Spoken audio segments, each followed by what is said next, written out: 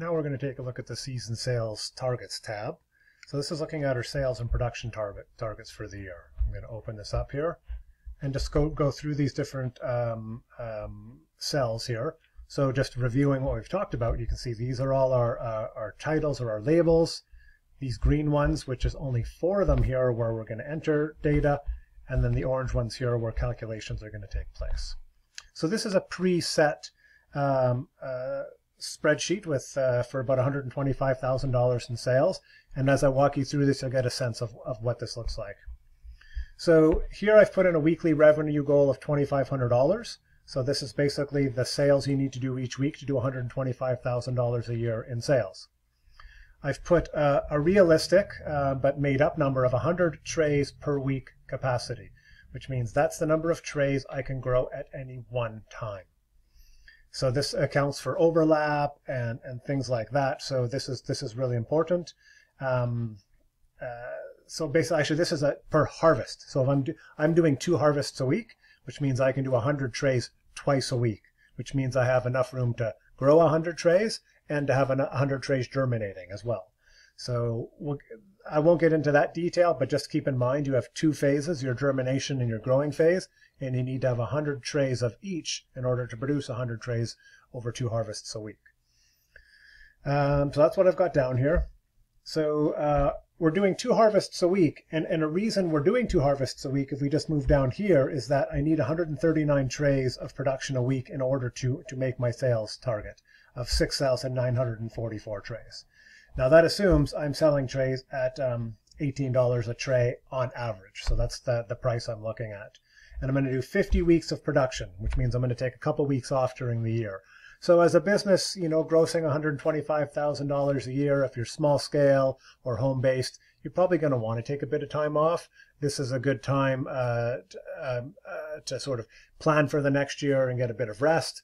Generally, uh, leading right up to Christmas, maybe you do your last harvest on the 23rd or so to give restaurants some stock for the for the Christmas holidays, and then you take a break and start again in the new year. So uh, to give you a sense of things, if I start changing what I think my average price is going to be,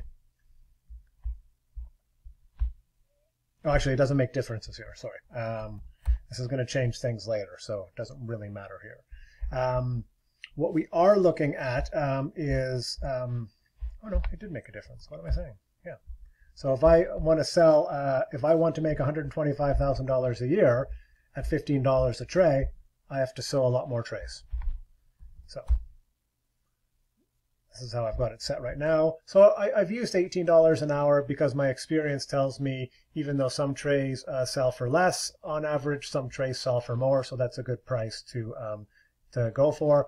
Um, that might be a good place for you to start as well, though it's going to depend on your market and, and many things like that. If you're going for a more premium market, uh, you might be able to put that price higher. But if you're trying to sell more stuff in bulk, uh, and do more wholesale stuff, that price might go down a little bit.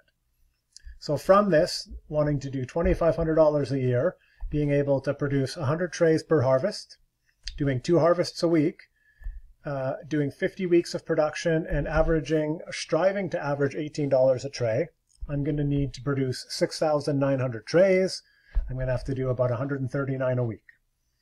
So, and then the rest of things go here. My maximum trays is 200 a week. This is how many I can do. And, and, and in these, these production numbers, I'm at about 69 or 70%. And so this is important because it tells me that I have room to expand. And so if my goal is 125,000 and things go well and I, I can get more sales, I have the capacity to do that. And this is a challenge a lot of people come, come into is that they, they do well and then they have more sales than they can uh, uh, service. And that can become a challenge. So this is really important to consider there. Uh, quick look here. Here's an example here where we've got some um, some comments here. So you can see there's just a little orange uh, uh, triangle in the corner here. So I just uh, hover over those and I can see those. So that just gives you a little bit more information to keep the text on the screen a little low. There's one here and there's another one up here. So these are things that you can just refer to in the future for quick references on what to do. So this is our season sales targets. This is going to feed some other stuff in the crop planner. And as you might guess, this number here of 6,900 trays, since that's our projected number of trays, uh, it's also going to tell us how much soil we're going to need, and once we get into our crops, how much seed we're going to need for those crops. So already we have some information to start projecting our costs for the season.